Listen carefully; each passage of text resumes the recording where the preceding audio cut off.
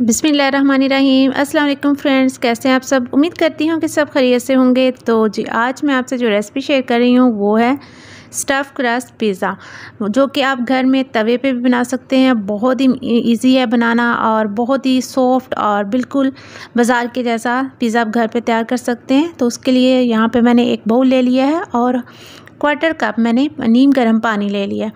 और अब इसमें दो टेबल स्पून मैंने ईस्ट शामिल कर दिया। अगर आप इसका कोई साशे ले रहे हैं तो आप पूरा एक साशे इसमें डाल लें। और हाफ़ टी स्पून मैंने चीनी इसमें डाल दिए। चीनी का पाउडर मैंने ये, यहाँ पर ले लिया था। और इसको अच्छे से आपने मिक्स करके तीन से चार मिनट के लिए राइस होने के लिए रख देना है। और फिर आपने, ये देख सकते हैं कि ये राइस हो चुका है। आप इस तरह पहले चेक कर लिया करें। मोस्टली ऐसे होता है कि आपका ईस्ट राइस नहीं होता और आपकी डो जो अच्छी तैयार नहीं होती। अगर ये राइस ना हो तो आप बिल्कुल भी इसको यूज़ ना करें, आपकी डो ख़राब हो सकती है। तो यहाँ पे मैंने दो कप मैदा ले लिया है और मैदा आपने अच्छी तरह छान के ले लेना है। ये दो कप मैदे से आप दो मीडियम साइज़ के या लार्ज साइज़ के पिज़्ज़े तैयार कर सकते हैं। यहाँ पे मैंने वन टीस्पून नमक इसमें शामिल कर दिया है और दो टेबल स्पून मैंने कुकिंग ऑयल ले लिया है और इसको अब अच्छे से मिक्स कर लेंगे। और इसके साथ ही आपने जो ईस्ट वाला जो पानी मैंने ख़मीर वाला बना के रखा था ना, उससे आपने थोड़ा थोड़ा करके इसको गूँध लेना। इस पानी से मैंने ख़मीर वाले पानी से थोड़ा थोड़ा करके इसको आटे को गूँध लिया था। तो बाकी जो आपको इसको गूँधने के लिए ज़रूरत पड़ेगी तो आप पानी ना यूज़ कीजिएगा। यहाँ पर मैंने हाफ़ कप दूध ले लिया था, नीम गर्म। उससे आप इस डो को गूँधिए बहुत ही सॉफ्ट आपकी डो तैयार होगी। ये देख सकते हैं आप। इस तरह आपने जब ये कंबाइन हो जाए आपकी डो तो आपने काउंटर पे डाल लेना थोड़ा सा मैदा और इस तरह अपनी हाथों की हेल्प से इसको अच्छे से मसल लेना है। इस तरह, इस तरीके से जैसे कि आप वीडियो में देख सकते हैं, चार से पाँच मिनट मैक्सिमम इसको ज़रूर कीजिएगा इस तरह। तो इससे आपकी डो बहुत ही सॉफ्ट तैयार होगी और आपका पिज़्ज़ा बहुत सॉफ्ट बनेगा। तो इस तरह मैंने इसको पाँच से छः मिनट के लिए अच्छे से मसल लिया था। ये देख सकते हैं, हमारी डो जो है वो बन चुकी है। अब आप इसको राइस होने के लिए रखें। यहाँ पे मैंने कुकिंग ऑयल ले लिया था थोड़ा और इसको दोनों तरफ़ से अच्छे से कुकिंग ऑयल लगा लें और फिर इसमें इसको आप कवर करके अच्छे से किसी वार्म जगह पे रख दें। वैसे तो गर्मियाँ जल्दी राइस हो जाती है। आप चिकन की मैरिनेशन कर लेते हैं। यहाँ पे मैंने दो टेबल स्पून सिरका ले लिया था। और उसी के साथ आपने दो टेबल स्पून चिली सॉस इसमें शामिल कर देना। आप चाहें तो इसकी मैरिनेशन ना भी करें, वैसे भी आप बना सकते हैं, लेकिन इस तरह आपका चिकन बहुत ही मज़े का और टेस्टी बनता है। One teaspoon soya sauce one teaspoon chilli powder है हाफ़ टी स्पून काली मिर्चों का पाउडर है हाफ़ टी स्पून इसमें ज़ीरा पाउडर शामिल करेंगे और हाफ़ टी स्पून इसमें पेपरिका पाउडर शामिल कर देंगे और हाफ़ टी स्पून इसमें मैंने नमक डाल दिया। इन तमाम चीज़ों को अच्छे से मिक्स कर लेंगे और दो टेबल स्पून इसमें कुकिंग ऑयल डाल देंगे। ये तमाम मिक्सर अच्छे से मिक्स हो जाए। तो आपने इसके अंदर चिकन के बोनलेस मैंने यहाँ पे क्यूब छोटे छोटे काट लिए थे। ये तकरीबन 300 ग्राम है। तो आपने ये इसमें शामिल कर देने हैं और अच्छे से मिक्स कर लेना है। और अब आपने इसके अंदर शामिल कर देना है अदरक लहसन का पेस्ट। आप यहाँ पे अदरक लहसन का पाउडर भी यूज़ कर सकते हैं।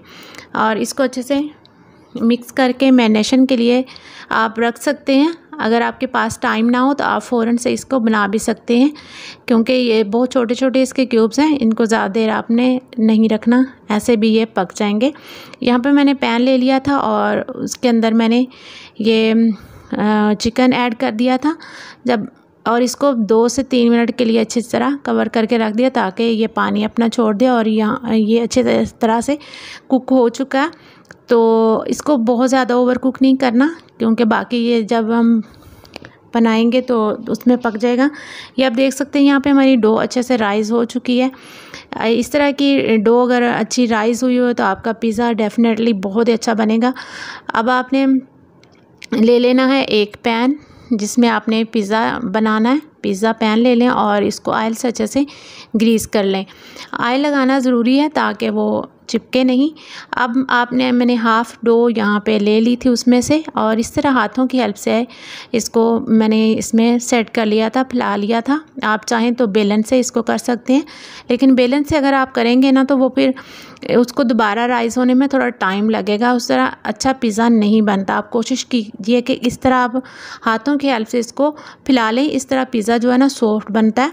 आपने इसको थोड़ा पैन की साइज़ से बड़ा ही बनाना है। अगर आप बेलन से कर रहे हैं तो उसको दस मिनट के लिए दोबारा कवर करके रख दें। यहाँ पे हम एक सॉस इसकी तैयार कर लेते हैं।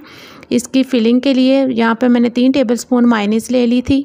वन टीस्पून चिली सॉस इसमें शामिल करेंगे और वन टीस्पून टेबल स्पून मैंने इसमें केचप शामिल कर दिया और उसी के साथ आप इसमें डाल देंगे। मस्टर्ड पेस्ट जो होता है ना वो, ये तकरीबन मैंने हाफ़ टी स्पून ले लिया था। इसको अच्छे से मिक्स कर लेंगे और आप दे अभी आपको दिखाती हूँ कि कितना अच्छा सा हमारा ये सॉस जो है ना वो रेडी हो गई है। और इसको एक पाइपिंग बैग में आपने डाल लेना और अब अब आपको बताती हूँ कि आगे आपने क्या करना और इसको एक कट लगा लें और यहाँ पे ये जो हमारी डो है, इसके इस तरह किनारों पे आपने इसको फिल कर लेना पाइपिंग बैग से इस सॉस को।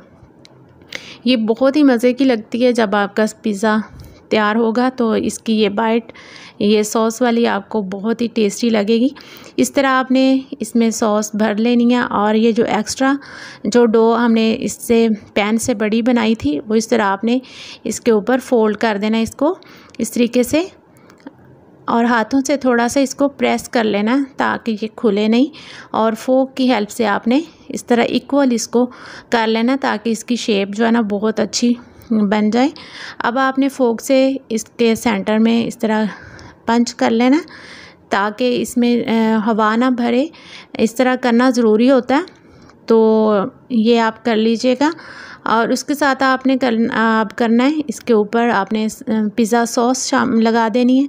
पिज़्ज़ा सॉस ना हो तो आप केचप के अंदर चिली फ्लेक्स शामिल करके ऑरिगेनो, वो भी यूज़ कर सकते हैं। आप इस पर हमने डाल दिया था थोड़ा मोजरेला चीज़ और इसके ऊपर आपने जो चिकन हमने तैयार करके रखा था ना, वो आपने सेट कर देना।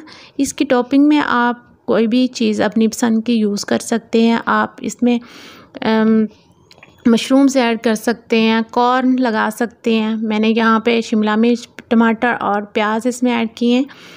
और आप अपनी पसंद से कुछ भी इसमें शामिल कर सकते हैं। और यहाँ पे मैंने थोड़े और ब्लैक ऑलिव्स इस पर लगा दिए। आप थोड़ा सा चीज़ इसके ऊपर आप लगा सकते हैं। मोस्टली लोगों को ये शिकायत होती है कि पिज़्ज़ा तो हमारा अच्छा बन गया लेकिन ये इसके किनारे जो है ना वो ए, कलर इस, इसका वाइट रहता है तो वो लुक नहीं आती जो कि बाज़ार से हम ख़रीदते हैं।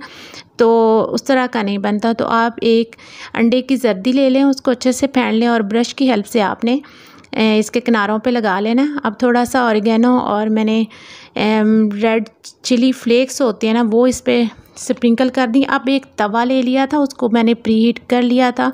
अब ये पिज़्ज़ा पैन जो है ना, ये तवे के ऊपर आपने रखना है। और इस तरह का ढक्कन आपने उस पर रखना है कि जिससे तवे के अंदर से पैन के ऊपर बिल्कुल सही फिट हो, उसमें से स्टीम ना निकले, ये आप देख सकते हैं। कि हमारा पिज़्ज़ा जो है ना तैयार हो रहा है और इसकी चीज़ जो अच्छे से मेल्ट हो चुकी है। अभी आपको इसका कलर वो परफेक्टली नज़र नहीं आ रहा होगा। अगर इस तरह का कलर हो तो आप उसी तवे को दो से तीन बार अच्छी तरह गर्म करके इसके ऊपर लगाएँ। तो ये देख सकते हैं आप, इसका कितना अच्छा सा कलर आ चुका है।